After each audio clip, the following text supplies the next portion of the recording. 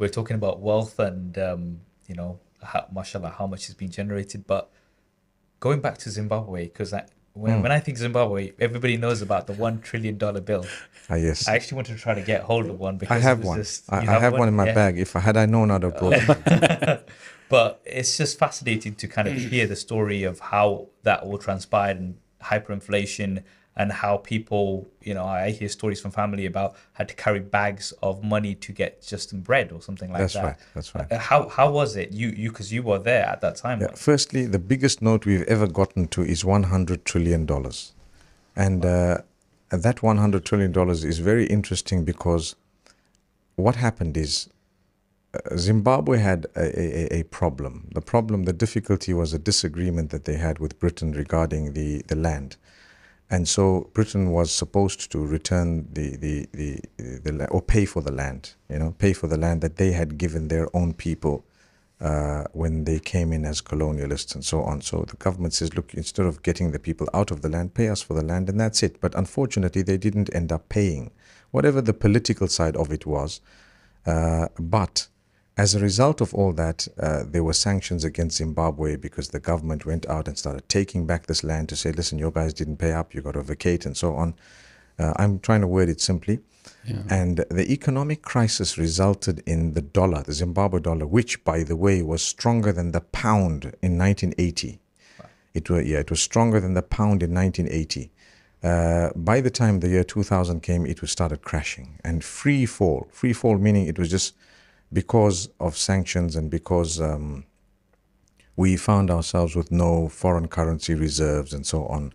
So when it started crashing, things became very expensive, and every day people's uh, you know salaries would increase and the prices would increase to the degree that uh, there were so many zeros that the Reserve Bank governor decided that we're going to delete three zeros. They deleted three, they deleted another two, they deleted, they ended up deleting 27 zeros over a period of a, of a few years. So when we say 100 trillion, you can add another 27 zeros to that to get the exact figure of what it was. Uh, and it's true that we had, uh, you know, wheelbarrows full of money just to go and get something basic. Uh, and now it's been replaced with uh, obviously plastic money. But the inflation's come back to us because every time they printed a new note or they came up with a system, they pegged it one on one with the US dollar. In a short space of time, it actually became 100, 200, 300, 500, 1,000, 2,000, 5,000, and it was crazy, crazy. So uh, the, the, the only way of dealing with that would have been the gold coin, to go back to gold and silver, and to go back to the original. There's, there was no other way of dealing with it. And Zimbabwe is rich in gold. So on one hand, you have sanctions where you cannot use the banks. Uh, and the other hand, you ha- you're rich in gold. And another hand, there's foreign currencies. There came a time when the government made an announcement to say you can use any currency you want because just survive. So the Zimbabweans have been making a plan to survive from 1998 from 2000 approximately. A plan to survive. You use whatever money you have for as long as two parties have agreed.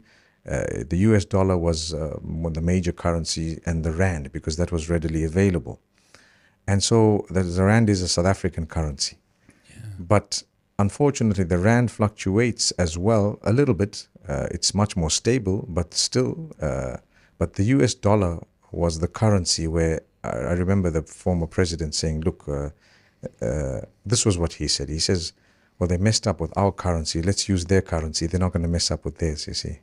So he started, we started using US dollars, uh, but things started becoming more and more expensive.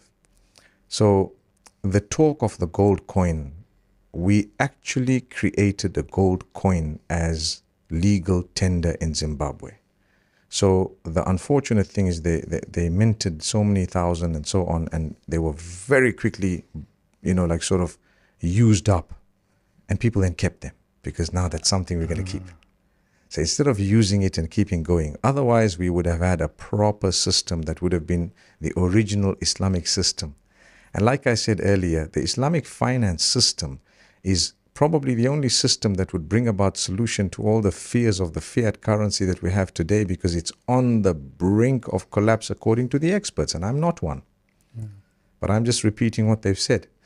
And uh, to have proper, if you if we all had little gold coins of different weights, right? Even the lightest one. So they, they, they, they how it works is they mix it and it's mixed in a certain way so the value is less and if it's less mixed the value is more and so on so if we had to use those gold coins you have the real asset is in your pocket nobody can take it away from you it's the real thing the terms devaluation and inflation are two terms that should never be in Islamic finance. They would not be non-existent. The reason is there's no devaluation and no, uh, you know, uh, inflation in that sense. More so devaluation. You can't just come in today and say we're devaluing this thing by, by divided by ten. I mean, come on. Yeah. A gold coin is a gold coin. That's it. It's done.